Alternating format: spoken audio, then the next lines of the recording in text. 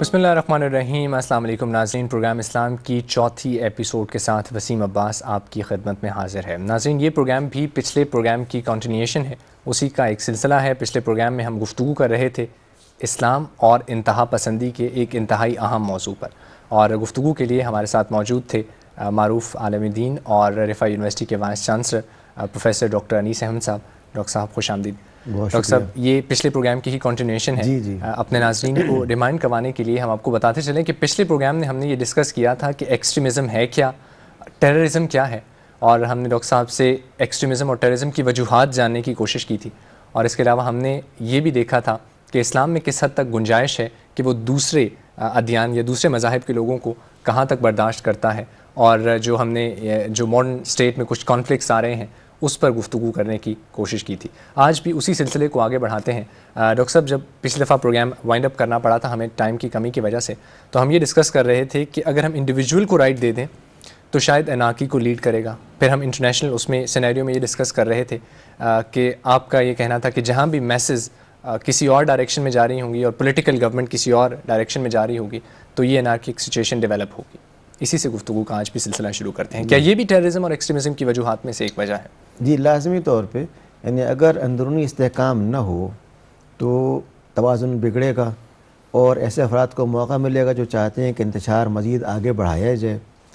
اس کے ساتھ ساتھ میں سمجھتا ہوں کہ محض یہ ایک معاملہ نہیں ہے بلکہ گلوبل لیول کے اوپر چار پانچ ایسے بنیادی عناصر ہیں جن کی بنا پہ انتہا پسندی اور خاص طور پہ تشدد پسندی کا آغاز ہمارے ہاں بھی ہوا اور جگہ پر بھی ہوا ہے۔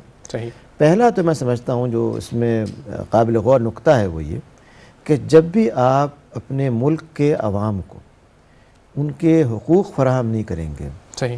ان میں بے چینی پیدا ہوگی۔ صحیح۔ دوسرے میں سمجھتا ہوں کہ جب بھی ان کو معاشی طور پر دبایا جائے گا صحیح۔ یہ چیز پیدا ہوگی۔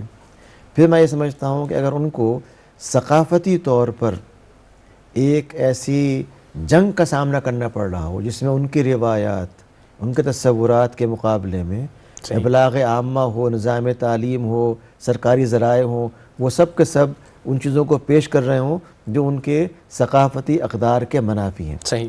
پھر یہ چیز بھی کہ جہاں کہیں بھی افراد پائے جاتے ہیں کیا انہیں واقعتاً عدل و انصاف مل رہا ہے؟ صحیح۔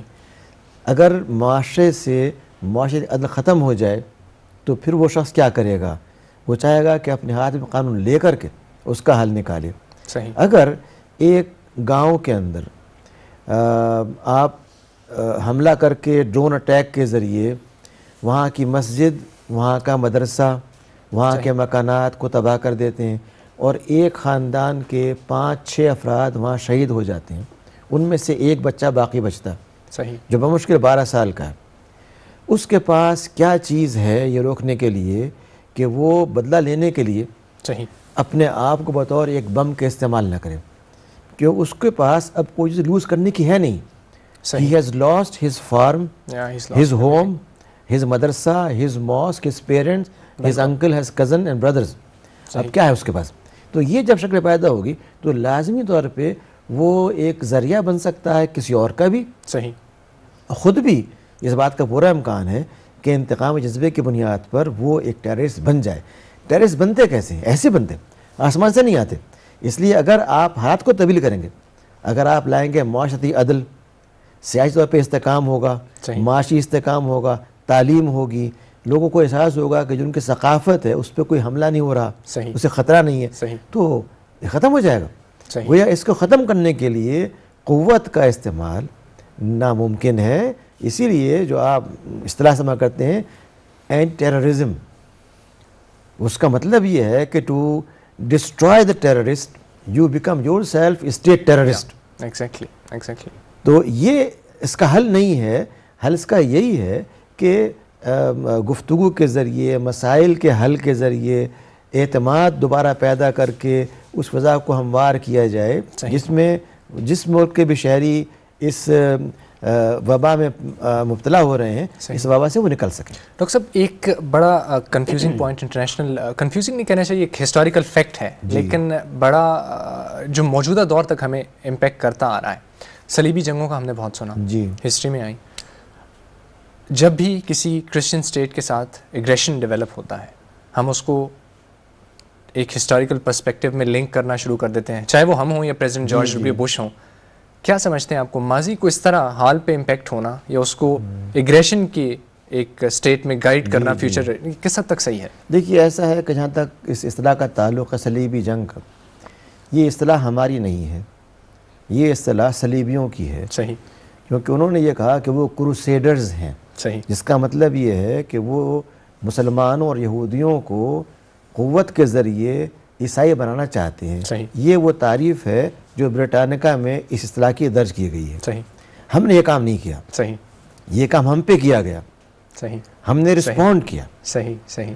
اس لیے اگر اسلام یہ کہتا ہے کہ آپ جہاد کر سکیں جہاد کا مطلب یہ نہیں ہے کہ یہ پروسٹائزیشن ہے بلکہ جہاد کا مطلب یہ ہے کہ جو پروسٹائز کر رہے ہیں جو صلیبی جنگ کے ذریعے چاہتے ہیں کہ قوت سے آپ کو عیسائی بنائیں ان کو ریزسٹ کرنے کے لیے صحیح۔ جو آپ کام کریں کہ اس کا نام جہاد ہے۔ جو بات آپ نے کہی اس میں ایک پہلو یہ قابل غور ہے کہ کیا ہمیشہ یہ ہوگا کہ جب بھی کوئی کلیش مسلمانوں کا اور عیسائیوں کا یا کسی اور کا ہو تو کسی ایسے ملک کا سربراہ جو کہتا ہو کہ وہ سیکولر ہے صحیح۔ لیکن جب وہ عہد نامہ کرتا ہو صدارت کا تو ہاتھ رکھتا ہو بائبل کے اوپر۔ صحیح۔ امریکہ میں کیا نہیں ہوتا؟ ملک سیکولر ہے نا؟ بالکل بالکل۔ دستور سیکولر ہے۔ بالکل۔ لیکن کیا کوئی صدر مملکت آج تک اس کے بغیر عہد اٹھاتا ہے؟ ایک ایسے ملک کا صدر جب شروع کرتا ہے عراق کی جنگ تو پہلے وہ چرچ میں جاتا ہے۔ صحیح۔ چرچ سے آ کے اعلان کرتا ہے وہ۔ کیا ہم نے ایسا کبھی کیا؟ کیا کسی مسلم دنیا کے ملک نے ایسا کیا کہ پہلے سربراہ گیا ہو جا کر کے اس نے دو رکعت پڑھی ہوں پھر جنگ کا اعلان کیا ہو؟ اگر ہم پہ حملہ کیا گیا ہم نے اس کا جواب دیا۔ تو یہ ایک دفاعی ہم نے کام کیا ہے۔ گو اسلام آپ کو یہ الاؤ کرتا ہے کہ اگر آپ دیکھ رہے ہیں کہ برائی پھیل رہی ہے اور برائی کا ذریعہ روکنا اور کوئی نہیں ہے سوائے جہاد کے تو آپ کو جہاد بھی کرنا چاہیے۔ جہاد محض مدافعانہ نہیں ہے لیکن میں یہ عرض کر رہا ہوں کہ جو شکلیں پیش آئی ہیں ان کے اندر we are victimised.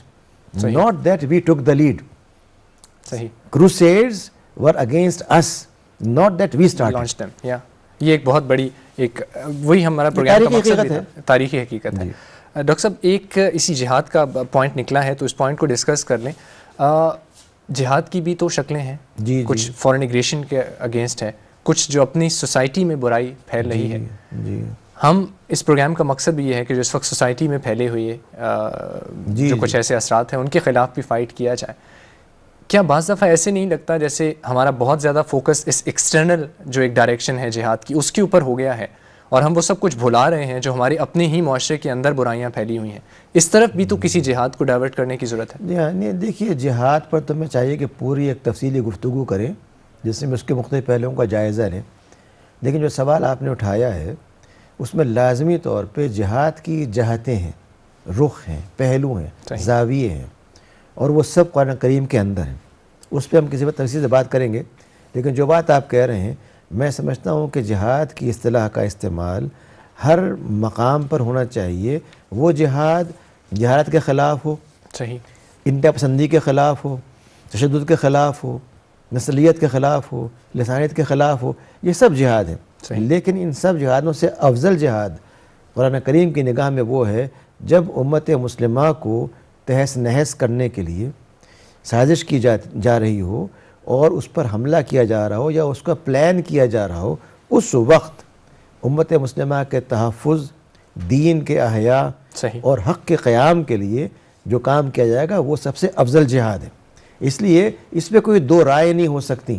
یہ جو بات کہی جاتی ہے کہ تسبیح کا جہاد بڑا ہے قرآن پاک نے تو صاف کہہ دیا ہے کہ اعظم و درجہ ان کے لیے ہے جو نفس اور مال سے میدان جہاد کے اندر موجود ہیں۔ لیکن میں نے عرض کیا آپ سے یہ تفصیل طلب موضوع ہے۔ اس پہ ہمیں کسی اور وقت تفصیل سے بات کرنی پڑے گی۔ صحیح صحیح۔ ڈاکٹر صاحب بریک میں بھی آپ سے ڈسکس ہو رہی تھی۔ اگر ہم آہستہ آہستہ سولوشنس کی جانب آئیں میں نے آپ سے ایک بک کا ذکر کیا۔ آ، ان کا یہ تھیسس تھا کہ شاید اسلامک اسٹیٹ جو بھی ہوگا، اس کا رول ماڈل کچھ ایسا ہونا چاہیے کہ ریلیجس اینٹی اور پولیٹیکل اینٹی کو یونیفارمٹی ہونی چاہیے، یا وہ ایک ہی اتھارٹی میں ہو یا اس میں یونیفارمٹی ہونی چاہیے۔ کیا آپ سمجھتے ہیں اس قسم کا رول ماڈل یہ جو انارکی ہے کہ اسٹیٹ کسی اور طرف جا رہی ہے میسز کسی اور ریبیلینس ہو رہے ہیں اپرائزنگس uh, ہو رہی ہیں، آپ سمجھتے ہیں کہ وہ سلوشن قابل عمل ہوگا؟ میں سمجھتا ہوں کہ جو حالیہ صورتحال ابھر رہی ہے، اس میں تو ہمارے نام نہاد مخالفین نے بھی اس بات کا اعتراف کر لیا ہے کہ جسے وہ عرب دنیا کی بہار کہتے ہیں صحیح۔ وہ ان کے لیے قابل قبول اس لیے ہے کہ ان جابر اور ظالم حکمرانوں کا دور ختم ہو رہا ہے صحیح۔ جن انہوں نے خود پالا تھا اور ان کی جگہ ایسے لوگ آ رہے ہیں جو عام کے نمائندہ کہے جا سکتے ہیں۔ صحیح۔ جو سوال آپ نے کیا ہے اس میں دیکھیے بنیادی جو پرابلم انٹلیکچول پائی جاتی ہے وہ یہ ہے کہ جہاں کہیں بھی دین کا ذکر آتا ہے لوگ یہ سمجھتے ہیں کہ یہ ایک تھیوکریسی ہے۔ صحیح بالکل۔ اور اگر اسٹیٹ ایسی ہوتی ہے اس میں کہ دین کا دخل ہے صحیح۔ تو وہ اسٹیٹ تھیوکریٹک ہوگی۔ بالکل اس حوالے سے علامہ اقبال اور مولانا مودودی اور علامہ اسد ان تینوں حضرات نے جو کچھ لکھا ہے اسے آپ کبھی دیکھیے۔ وہ یہ کہتے ہیں کہ اسلام میں تھیوکریسی کا وجود آغاز سے نہیں ہے اور نہ آج ہو سکتا ہے۔ بلکہ ریاست جو ہے وہ ایک ایسی اکائی ہے صحیح۔ جس کے اندر دین اور دنیا انٹیگریٹڈ ہے۔ صحیح صحیح۔ خاتم صلی اللہ علیہ وسلم کی حیثیت محض اللہ کے رسول ہونے کی بنا پر ایک مبلغ کی نہیں تھی بلکہ آپ نے جہاں دین کو پھیلایا اس کے ساتھ ساتھ ریاست کا قیام کر کے یہ بتایا کہ ریاست ہوتی کیا ہے۔ صحیح۔ کی ریاست کے اندر کیا خصوصیت ہونی چاہیے؟ چنانچہ آپ ایک سیاسی فرما روا کی حیثیت سے ایک حاکم کی حیثیت سے ایک قاضی کی حیثیت سے ایک دائی کی حیثیت سے آپ کی شخصیت میں سب چیزیں یکجا ہو گئیں۔ اور یہ چیز اسلام کے نظامی ریاست کے اندر ہے۔ اسلامی ریاست کا مطلب یہ ریاست کا مطلب یہ ہے کہ وہ انٹیگریٹڈ ہو سیپریٹڈ نہ ہو۔ صحیح۔ ڈاکٹر صاحب گفتگو کا سلسلہ یہیں سے آگے بڑھائیں گے۔ فی الحال ایک بریک کا ٹائم ہوا ہے اور اس مختصر سے وقفے کے بعد دوبارہ اسلام اور انتہا پسندی کے موضوع پر گفتگو کا سلسلہ جاری رکھیں گے۔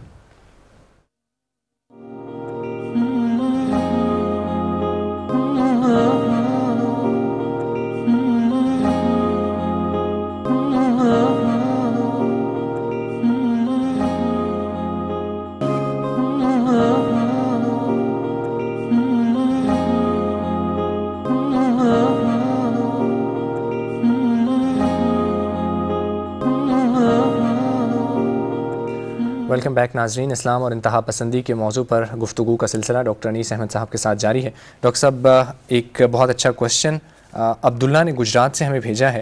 عبداللہ کا یہ کہنا ہے کہ شاید جو اسکول آف تھاٹس جو مختلف سیکس سے جن کا مقصد ایک انٹرپریٹیشن تھا تاکہ کسی سلوشن پہ پہنچا جا سکے، ان کے نزدیک انتہا پسندی اور اس ٹیررزم کی وہ بہت بڑا اس میں رول پلے کر رہے ہیں اور بہت بڑا اس کا حصہ بن چکے ہیں۔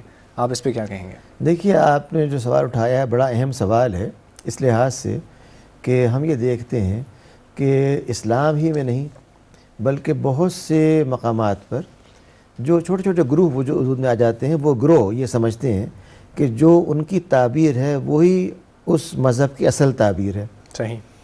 چنانچہ Christian fundamentalism Buddhist fundamentalism Jewish fundamentalism ان سب کے اندر ایسے طبقات پائے جاتے ہیں جنہوں نے اپنی تعبیر کو حتمی تعبیر تصور کر لیا ہے۔ اسلام کے حوالے سے یہ بات قابل غور ہے کہ اسلام یہ چاہتا ہے کہ دین کی ایک سے زائد تعبیرات ہوں۔ صحیح صحیح۔ چنانچہ قرآن یہ کہتا ہے کہ مسلمانوں کے معاملات مشاورت سے طے ہوتے ہیں۔ صحیح۔ مشاورت کا مطلب یہ ہوا کہ کسی ایک مسئلے کے اوپر جب تک زیادہ آرا نہیں پائی جاتی مشاورت کیسے ہوگی؟ صحیح صحیح۔ گویا کہ وہ چاہتا ہے کہ غور کیا جائے نئے حل نکالے جائیں اشتہاد کیا جائے لیکن وہ یہ بھی چاہتا ہے کہ جو رائے دی جائے اس کو آپ ناپیں تولیں قرآن حدیث کی بنیاد کے اوپر صحیح۔ اور جو اس سے قریب تر اسے اختیار کر لیں باقی کو چھوڑ دیں۔ پرابلم یہ پیش آ رہی ہے کہ دین کو بغیر مجموعی مطالعے کے صحیح۔ بغیر مکمل قرآن کریم کو سامنے رکھے بغیر مکمل سیرت پاک کو سامنے رکھے ہم کرتے ہی ہیں کہ سیرت پاک کے ایک پہلو کو لے کر کے اور پھر ہم سے یہی مکمل دین ہے۔ صحیح۔ مثال کے طور پہ ایک انتہائی بنیادی چیز جو ہم کو ملتی ہے وہ یہ کہ اورل ہائیجین صحیح۔ مسواک کا استعمال۔ صحیح۔ یہ غیر معمولی سنت ہے لیکن کیا صرف یہ سنت ہے؟ اگر ہم کہیں کہ یہ سنت ہے صرف تو یہ انتہا پسندی ہوگی۔ Exactly. جبکہ یہ سنت کا ایک اہم حصہ ہے بنیادی حصہ ہے اس کے ساتھ ساتھ جو بے شمار اور سنتیں ان میں ہونا چاہیے۔ صحیح۔ فرقہ واریت کی بنیاد ہی یہ ہے کہ آپ ایک چیز کو لے کے بیٹھ جائیں باقی سب کو بھول جائیں۔ یہ اس وقت دور ہوگی جبکہ مختلف دینی طبقات گفتگو کریں تبادلہ خیال کریں صحیح۔ اپنی بات کو پیش کریں دوسرے کی بات کو سنیں۔ صحیح۔ انسان ایک ایسی چیز ہے کہ سننے کے بعد دیکھنے کے بعد رائے تبدیل کرتا ہے۔ صحیح بات۔ یہ نہیں ہو سکتا کہ رائے تبدیل نہ کرے خوبصورت، بالکل۔ لیکن ڈاکٹر صاحب یہاں پہ میں کلیریفیکیشن چاہوں گا۔ آ، ہم نے یہ دیکھا کہ ہم نے اس سے پچھلے پروگرام میں یہ گفتگو کی تھی کہ کوئی کرسچن ہو یا جو ہو جب وہ آپ کے ساتھ ایک پیسفل ایگریمنٹ کے ساتھ رہ رہا ہے تو پھر اس کے ساتھ نفرت کا اس کے ساتھ تعصب کا کوئی رائٹ نہیں بنتا۔ بہت افسوس کے ساتھ یہ کہنا پڑتا ہے کہ ود ان اسلامک سوسائٹیز ایسے بھی کہا جاتا ہے کہ کسی دوسرے سیک کو جو اسی خدا کا ماننے والا ہے، جو اسی قرآن کو پڑھنے والا ہے، جو اسی پروفٹ کا کلمہ پڑھنے والا ہے، ان کو نہ ایگزسٹنس کا رائٹ ہے۔ بلکہ دائر اسلام سے تو باہر سب سے پہلے قرار دیا جاتا ہے، اس کے بعد کہا جاتا ہے کہ ان کو تو ایگزسٹنس کا ہی رائٹ نہیں ہے۔ یہ مینٹیلٹی یہ ٹرینڈ کس حد تک نقصان پہنچا رہا ہے اسلام کے ایک اوور آل دیکھیے، اسلام نے ایک پیرامیٹر طے کر دیا ہے اور وہ یہ ہے کہ جو شخص بھی اللہ سبحانہ و تعالیٰ کو وعدہ اللہ شریک مانتا ہے خادم صلی اللہ علیہ وسلم کو اپنا نبی اور رسول مانتا ہے اور یہ کہتا ہے کہ خاتم النبیین ہے یہ دو باتیں جو شخص بھی مانتا ہے وہ مسلمان ہے صحیح۔ اگر وہ کسی بنا پر کچھ فرائض پورے نہیں کر رہا صحیح۔ تو اسی کیٹیگری کافر کی نہیں ہے صحیح۔ وہ یہ ہو سکتا ہے کہ اس میں کچھ فسق آ گیا ہو۔ صحیح۔ ہو سکتا ہے کہ بعض معام میں کچھ شرک بھی آ جائے۔ صحیح۔ لیکن مسلمان وہ پھر بھی رہتا ہے۔ ہم نے یہ کر لیا ہے کہ اگر ہمارے خیال میں جو اسلام کی تصویر ہے اس سے وہ ایک بال برابر کھسکا تو کافر ہو گیا۔ یہ اپروچ اسلام کی نہیں ہے۔ یہ بھی گویا ایک انتہا پسند یہ انتہا پسندی کی اپروچ ہے۔ اسلام یہ چاہتا ہے کہ آپ اپنے بھائی کو دیکھیں کہ وہ جب تک ان دو باتوں کا اقرار کر رہا ہے انکار نہیں کر رہا وہ مسلمان ہے۔ رہا سوال یہ کہ اسلام کے باہر کے فرقے اور ان کے ساتھ کوئی اختلاف یا ان پہ تشدد اس کی اسلام مخالفت کرتا ہے۔ اسلام یہ کہتا ہے کہ جو شخص بھی آپ کے شہری ہیں وہ غیر مسلم ہیں ان کو پورا تحفظ دیا جائے گا۔ اور اس بنا پر اسلامی ریاست کے اندر اگر ایک غیر مسلم بھی اپریسڈ ہے تو اس کے لیے خاتون یہ بات فرماتے ہیں کہ وہ قیامت میں اس کی طرف سے استغاثہ کریں گے۔ یعنی اگر کسی غیر مسلم کو آپ تکلیف پہنچاتے ہیں ناجائز طور پر تو رسول اللہ علیہ وسلم خود اس کے وکیل بنیں گے۔ جو دین یہ کہتا ہو اس دین کے اوپر کیسے آپ یہ کہہ سکتے ہیں کہ وہ غیر مسلموں کو ایک سنگرا سٹیزن قرار دیتا ہے؟ اسلام تو یہ چاہتا ہے کہ ہر شہری کو بہت اس کے پورے حقوق ملے حتیٰ کہ ایک پرندہ بھی اگر آپ مارتے ہیں بغیر وجہ کے تو آپ اس کے وکیل ہوں گے قیامت کے اندر۔ یہ بھی حدیث کے الفاظ ہیں۔ جس کا مطلب یہ ہے کہ دین جو ہے وہ یہ چاہتا ہے کہ لوگوں کو تحفظ ملے۔ یہ بے بنیاد بات ہے کہ چونکہ فرقے بن گئے ہیں ہمارے ہاں تو ان کو مورد الزام ٹھہرانے کے لیے آپ ان کو الزام دے دیں۔ اگر آپ دیکھیں گے تو اس وقت امریکہ کے اندر دو سو ریکوگنائز چرچ پائے جاتے ہیں صحیح۔ جن کی الگ الگ کریڈز ہیں۔ صحیح صحیح۔ جن کی الگ طریقے عبادت ہیں۔ اس کے باوجود چونکہ وہاں پہ قانون کی گرفت ہے ان میں جنگ نہیں ہوتی۔ بالکل۔ ہم نے چونکہ ملک میں قانون کا احترام ختم کر دیا اس لیے کوئی بھی فرقہ یہ سمجھتا ہے کہ جب تک اس کے پیچھے سیاسی قوت موجود ہے اس کے علاقے کا ایم پی اے اس کے علاقے کا سینیٹر اس کے علاقے کا سیاستدان اس کا پش بنا ہے اسے کوئی پرواہ نہیں۔ اس چیز کو ختم کرنا ہوگا۔ جب آپ ملک میں قانون کے بالادستی لے کر کے آئیں گے لوگوں کو تحفظ دیں گے تو فرقوایت خود بخود ختم ہو جائے گی۔ صحیح۔ ڈاکٹر صاحب اسی سے فرقہ واریت سے لنک بہت خوبصورت آپ نے بات کی۔ مدرسے کا ہم انٹرنیشنلی آج سن رہے ہیں۔ ایک بہت وائٹل انسٹیٹیوشن جی، ہے۔ جی۔ جب فارمل ایجوکیشن سسٹم نہیں ہوتی تھی تو انہی مدرسوں سے بہت بڑے بڑے علماء بھی سامنے آئے۔ کیا وجہ ہے کہ آج یہی مدرسے آپ ویسٹ میں کسی بھی جگہ نام لے لیں وہ آپ کو کہیں گے these are the epicentre source of terrorism us impression کو کیسے ختم کیا جائے اور یہ امپریشن کس حد تک بجا ہے؟ دیکھیے پہلی بات یہ کہ امپریشن درست نہیں ہے۔ میں سمجھتا ہوں کہ اس کو آؤٹ آف پروپورشن بلو کیا گیا ہے اور انتہائی غلو کے ساتھ بیان کرتے ہوئے یہ تاثر پیدا کر دیا گیا ہے کہ مدرسے فساد کی جڑ ہے ایسا نہیں۔ دوسری بات یہ کہ مدرسوں کا جو بڑھنے کا سلسلہ ہے وہ بھی ایگزیجریٹ کیا گیا ہے اس کے ادر شمار درست نہیں ہے۔ صحیح۔ تیسری بات یہ کہ مدارس کے اندر جو چیز سکھائی جاتی ہے میری معلومات کی حد تک وہ یہ ہے کہ تلاوت کلام پاک کیسے ہو؟ صحیح۔ طہارت کیسے ہو؟ نماز کے مسائل کیا ہیں؟ طلاق کے مسائل کیا ہیں؟ میرے علم میں کوئی مدرسہ نہیں ہے جو پندرہ سو سال میں سکھاتا ہو کہ ہوائی جہاز کس طرح اڑایا جائے کلاس روم کس طرح چلایا جائے ایٹم کس طرح بنایا جائے کسی کے سامنے شامل نہیں۔ ہاں اگر کسی دور کے اندر یہ کام کروایا گیا صحیح۔ تو کروانے والے وہ تھے جو آج ان کو الزام دے رہے ہیں۔ صحیح صحیح۔ دوسری بات یہ کہ مدرسے کا تعلق جو ہے وہ تعلیم کے ایسے نظام سے ہے جو کمپریہنسو ایجوکیشن فراہم کرتا تھا۔ ہمارے مدارس کے اندر physics chemistry astronomy geography medicine کے ساتھ ساتھ فقہ تفسیر حدیث لاجک پڑھائی جاتی تھی۔ صحیح۔ ہم نے اس کو محض محدود کر دیا مسجد کی امامت کے لیے۔ صحیح۔ اس نصاب کو چھوڑ دیا اور یہ سمجھا کہ یہ محض مسجد کے امام بنانے کے لیے بنائے گئے ہیں۔ یہ غلط ہے۔ اور چونکہ یہ رواج چلتی رہی ہے کافی صدیوں سے ہمارے پاس اس لیے مدارس کی امیج ڈسٹورٹ ہوئی ہے اور اس میں کمی آئی ہے ورنہ مدارس ہی سے نکلنے والے تھے۔ غزالی ابن سینا ابن طفیل اور آپ کے فزسٹ اور آپتھمالوجسٹ جنہوں نے مدارس سے پڑھ کر کام کیے۔ بالکل ایسا ہی۔ اس لیے یہ کہنا غلط ہوگا کہ مدارس بنیاد ہیں اگر اس میں کوئی کمی ہے اس کو دور کیجیے وہ ایک بہت بڑا ذریعہ ہے تعلیم کا جو کہ نہ سرکاری تعلیم نہ پرائیویٹ تعلیم پورا کر سکتی ہے۔ ہمارے ملک کے اندر تناسب ناخواندگی کا اس کو دور کرنے کے لیے اگر آپ مدارس کو استعمال کرتے ہیں صحیح طور پر تو انقلاب اچھا پلیٹ فارم ہو سکتا ہے۔ ڈاکٹر صاحب گفتگو کا سلسلہ جاری رکھیں گے۔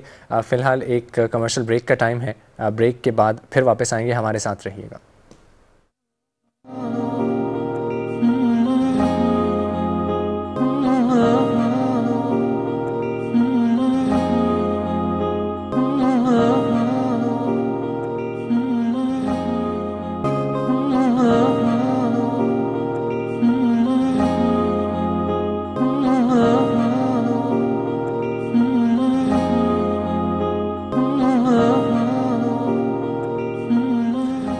ویلکم بیک ناظرین، اسلام اور انتہا پسندی کے موضوع پر گفتگو کر رہے ہیں۔ بریک کے دوران ڈاکٹر صاحب، ہمیں سعودی عرب سے فرحت نے یہ کال کی تھی۔ ان کا یہ کہنا تھا کہ مسلمان مسلمان اکثر یہ کہتے ہیں کہ جب بھی کوئی پرابلم ان کے سامنے آتا ہے، تو وہ کہتے ہیں کہ جی ساتویں صدی عیسوی میں یا اس کے بعد سے وہ اپنے مسائل کا حل ماضی میں کیوں ڈھونڈتے ہیں؟ کیا یہ بھی فنڈامنٹلزم کی ایک قسم ہے؟ وہ موجودہ دور یا آنے والے دور کے مطابق اپنے حل کیوں نہیں ڈھونڈتے؟ دیکھیے، ایسا ہے کہ یہ اپروچ غلط ہے۔ میں سمجھتا ہوں کہ اسلام وہ واحد دین ہے جس نے قرآن کریم اور سنت متحرہ کے ذریعے دو ایسے اصول فراہم کیے ہیں جو نان ویریبل ہیں۔ یہ دو ایپسولوٹ یا یونیورسل پرنسپل ہیں جو چینج نہیں ہو سکتے نہ انہیں ہونا چاہیے۔ صحیح۔ اس کے مقابلے میں دنیا کے جتنے بھی قانون کے نظام ہیں سیاسی نظام ہے ان سب کی بنیاد انسانوں کو بنائے ہوئے اصولوں کے اوپر ہے۔ صحیح۔ اور انسان اپنی تمام صلاحیت کے باوجود سوچ سکتا ہے بیس سال پچاس سال سو سال۔ صحیح۔ اس سے آگے نہیں سوچ سکتا۔ صحیح۔ پانچ سال بھی سوچ لے گا۔ لیکن کیا سوچ سکتا ہے ملینیم کے حوالے سے؟ نہیں سوچ سکتا۔ جبکہ جو قوانین دیے گئے ہیں قرآن پاک میں سیرت پاک کے ذریعے وہ قیامت تک کے لیے ہیں۔ اس لیے ہم ان کی طرف دیکھتے ہیں۔ لیکن جب ہم ان کو دیکھتے ہیں ساتھ میں یہ بھی چاہتے ہیں کہ عقل کا استعمال کرتے ہوئے اور بعض ذرائع جو معروف ہیں اشتہاد کے طریقے بہت سے ہیں ان کو استعمال کرتے ہوئے ان دونوں سے ایکسٹریکٹ کریں اور نئے مسائل کا حل کریں۔ صحیح۔ جس سے ہوتا یہ ہے کہ جو بھی آپ حل کرتے ہیں وہ لنکڈ ہیں آپ کے فیتھ کلچر ہسٹری کے ساتھ۔ صحیح۔ اور اس لیے وہ ان میں ایک الائنمنٹ ہے ان میں ایک راپور ہے ان میں ایک تعلق پایا جاتا ہے اندرونی۔ اس کے مقابلے میں اگر آپ وقتاً فوقتاً معیار بدلتے رہیں all the time change your criteria صحیح۔ تو کیا ہوگا؟ انارکی ہوگی تضاد ہوگا ٹکراؤ ہوگا۔ صحیح۔ آج آپ بناتے ہیں قانون ہے کل اسے آپ بدل دیجیے۔ صحیح۔ قرآن اور سنت جو ہیں وہ ہمیں مستقل بنیاد فراہم کرتے ہیں آئندہ کے مسائل کا حل کرنے ڈاکٹر صاحب لیکن آپ کیا سمجھتے ہیں؟ بعض دفعہ ایسے مسائل سامنے آتے ہیں اشتہاد کا آپ نے ابھی ذکر کیا۔ کیا آپ کو لگتا ہے کہ اشتہاد چونکہ اس کے اندر اب وہ ایک رک چکا ہے اس کا سلسلہ جس میں امہ کا ایک اجماع ہو۔ تو آپ سمجھتے ہیں کہ چونکہ ہم علماء کا ذمہ داری بنتی تھی کہ وہ سلوشنز ماڈرن ٹائم کے مطابق لوگوں کو گائیڈ کرتے چونکہ وہ اس میں کسی حد تک پیچھے رہ گئے ہیں۔ تو اب لوگ پھر بلائنڈلی بعض ویسٹ کو فالو کر رہے ہیں بعض اپنی انٹرپریٹیشن دے رہے ہیں۔ جی۔ دیکھیے اس میں تین پہلو سامنے رکھیے۔ ایک تو یہ کہ یہ بات بے بنیاد ہے۔ کہ اشتہاد بند ہو گیا۔ اشتہاد مسلسل جاری رہا ہے اور آج بھی جاری ہے۔ دوسری بات یہ سامنے رکھیے کہ اشتہاد کا مطلب یہ نہیں ہے کہ محض طلاق اور نکاح کے حوالے سے کوئی فتویٰ دیا جائے کہ طلاق تین ہوئی یا ایک ہوئی۔ صحیح۔ بلکہ اشتہاد کا مطلب یہ ہے کہ ملک کا معاشی نظام ملک کے سیاسی نظام کے حوالے سے جو مسائل پیدا ہو رہے ہیں جو مسائل انوائرنمنٹل ہیں ماحولیاتی مسائل ہیں ان کے اوپر دین کیا رہنمائی فراہم کرتا ہے۔ صحیح۔ یہ کون بتائے گا؟ صحیح۔ جس کو علی بین آتی ہو ماحولیات کی۔ صحیح۔ جس کو دین کے بارے میں کچھ نہ معلوم ہو۔ یہ دونوں طبقات جو ہیں ایک جو کلیم کرتا ہے کہ ہم جانتے ہیں بہت سیاست کو۔ ٹھیک۔ They have no idea about. دوسرے جو کہتے ہیں ہم جانتے ہیں دین کو۔ کیا ان کو ماحولیات کے حوالے سے اناٹومی کے حوالے سے پوری معلومات ہیں؟ آپ جب ایسے افراد لائیں گے جو ان دونوں پہلوؤں کو سمجھتے ہوں وہ اشتہاد کریں گے اور وہی مسائل کا حل ہوگا۔ صحیح صحیح۔ ڈاکٹر صاحب ایک تو یہ بتائیے کہ جو امامت کا ایک انسٹیٹیوشن تھا آ، اور کیا آپ سمجھتے ہیں کہ اگر اسی قسم کے ایک انسٹیٹیوشن کو ریوائیو کر دیا جائے ایک سینٹرل گائیڈنس رہے شرعی معاملات میں تو اس قسم کے ایشوز کو سالو کیا جا سکتا یہ بات درست نہیں ہے کہ کوئی اس طرح کا ادارہ تھا۔ تاریخی طور پہ ہمارے ہاں امامت کا تصور کوئی نہیں پایا جاتا بلکہ hمارے ہاں ہر دور کے اندر ایسے لوگ پیدا ہوئے جن کو کہ امام کا مقام دیا گیا۔ صحیح۔ گویا کہ امام حنیفہ امام جعفر صحیح۔ امام احمد ابن حنبل یہ امامت کا کوئی ادارہ نہیں ہے بلکہ اس بنا پر کہ وہ علم کے ایک سمندر ہیں انہیں امام کہہ دیا گیا۔ صحیح۔ گویا پریسٹوڈ ہمارے یہاں نہیں ہے۔ پریسٹوڈ ہے عیسائیت کے اندر ہندوازم میں اور مقامات پر۔ جو شخص بھی آج کے دور میں صحیح۔ دین کی پوری معلومات رکھتے ہوئے حالات حاضرہ کا احاطہ کرتے ہوئے کوئی رائے دے گا اور وہ رائے وہ ہو جو عالمانہ ہو سنجیدہ ہو اس کو امام کہا جا سکتا ہے۔ امام کے لیے شرط نہیں ہے کہ خواہ شکر وضع قطع ہو اس کی صحیح۔ بلکہ وہ فرد جو دین کے مسائل کو پورا سمجھتا ہو گہری نگاہ رکھتا ہو اور مسائل حل کر سکتا ہو۔ اس سے کہا جائے گا جیسے کہ امام خمینی۔ امام حسن البنا امام مودودی بے شمار افراد آپ کہہ سکتے ہیں کہ امام کا ان کو درجہ حاصل یہ شرط نہیں ہے کسی ایک فرقے یا کسی کے ساتھ۔ ڈاکٹر صاحب ایک کالر نے ہمیں یہ بھی پوچھا ہے ان کا یہ ایک تجویز سمجھ لیں یا سجیشن سمجھ لیں۔ وہ کہتے ہیں کہ اگر مسلم اسلامک اسٹیٹ کا خلیفہ وہی ہو جو امام بھی ہو تو شاید وہ سمجھتے ہیں کہ اس سے مسائل حل ہو سکتے ہیں۔ نہیں اگر امام سے مراد یہ ہے کہ نماز پڑھانے والا امام تو یہ تو بنیادی چیز ہے جو ایک مسلمان کو آنی چاہیے۔ صحیح۔ اور خلیفہ کو بہت اچھی طرح سے آنی چاہیے۔ اسلام یہ توقع رکھتا ہے کہ ایک عام شہری بھی اتنا قرآن جانتا ہوگا اور نماز پڑھا سکتا ہوگا جیسے خود پڑھتا ہے۔ صحیح۔ اس لیے خلیفہ نے ہمیشہ امامت کی قیادت کی بطور امام کے بھی۔ صحیح۔ لیکن یہ شرط نہیں ہے یہ شرائط میں سے ایک شرط ہے صحیح۔ کہ وہ امامت بھی کر سکتا ہو اور کرتا ہو۔ اسی بنا پہ اگر کوئی امامت نہیں کر سکتا تو وہ خلیفہ بھی نہیں بن سکتا۔ یہ ان شرائط میں سے ایک شرط ہے۔ لیکن یہ ہو سکتا ہے کہ ایک وقت میں خلیفہ بیمار ہے کوئی اور امامت کر لیتا ہے کیا فرق پڑتا ہے؟ صحیح۔ یا وہ باہر گیا ہوا ہے کہ مجھ سے وہ کر لیتا ہے۔ صحیح۔ تو یہ دونوں چیزیں جو ہیں یہ متضاد نہیں ہیں۔ صحیح۔ ایک خلافہ خلیفہ جو ہے جیسے آج ہم کہتے ہیں پریزیڈنٹ آف پاکستان صحیح۔ اگر وہ امامت کرتا ہے تو اس میں کیا قباحت ہے؟ لیکن کیا ایک ایسا شخص جو نہ خود نماز پڑھتا ہو نہ جانتا ہو؟ صحیح۔ امامت کر سکتا ہے؟ نہیں کر سکے گا۔ صحیح۔ تو ہمارے نظام کے اندر صدر مملک کے لیے ضروری ہوگا وزیر اعظم کے ضروری ہوگا کہ اسے کم از کم اتنا علم ہو صحیح۔ کہ وہ نماز پڑھا سکے۔ صحیح۔ ڈاکٹر صاحب اپنے ویورز کے سوالوں کو زیادہ شامل کرتے ہیں۔ اکرام صاحب نے ہمیں لاہور سے سوال کیا تھا۔ کہ اسلام کا پھیلاؤ تو اس کی ویلیوز اور اس کے کریکٹر کی وجہ سے ہوا ہے۔ اور ان کا یہ سوال ہے کہ وار کے اندر بھی بہت ساری ویلیوز کو فالو کیا جاتا ہے۔ اور ان کے نزدیک جو گوریلا وارفیئر ہے جو ماڈرن ٹیکٹکس ہیں اور جس میں سویلینس کو لاس پہنچایا جاتا ہے، کیا یہ اسلامک طریقہ ہے؟ دیکھیے، اس میں تو اسلام بڑا واضح طور پہ ہمیں حکم دیتا ہے کہ جو بھی نان کمبیٹنٹس ہیں، انہیں آپ نہیں ماریں گے۔ نہ صرف یہ، بلکہ اس بات کی واضح ہدایات موجود ہیں کہ اگر آپ جائیں اور راستے میں کوئی باغات ہوں جانور ہوں ان کو بھی آپ ضائع نہیں کریں گے۔